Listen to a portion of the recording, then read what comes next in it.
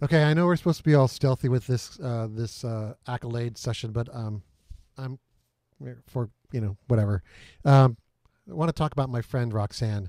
Uh, when she was my, a student in my in my class, uh, one of my favorite memories is uh, during the week four uh, session. We actually did it uh, using the Stickam platform, and specifically so that all our students could be on camera at once. It was a small group meeting, and it's complicated enough that they actually I asked students to do um, in week three kind of a practice run through. So when uh, week four came around, um, I didn't know what happened, but uh, we were about to go online, and I was told by Jesus, Roxanne's husband, that she would not be on camera because she had already taken off her makeup for the day, and she would not be gracing us with her image.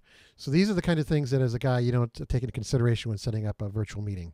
But Roxanne was the kind of low uh, maintenance A student that I felt like I could just give her a book, a candle, stick her in a closet, and she would still exceed all our expectations as far as what we were uh, wanting to accomplish.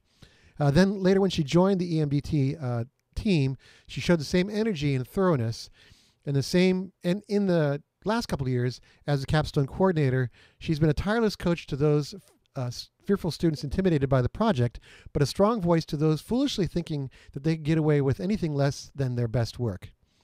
So now, for me, as the month 11 uh, course director, I can't tell you how important it's been to have the ability to so easily coordinate with Roxanne to get students through the capstone process and into month 12.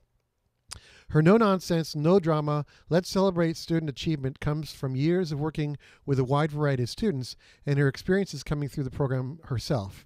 I'm proud to call Roxanne a colleague and a friend.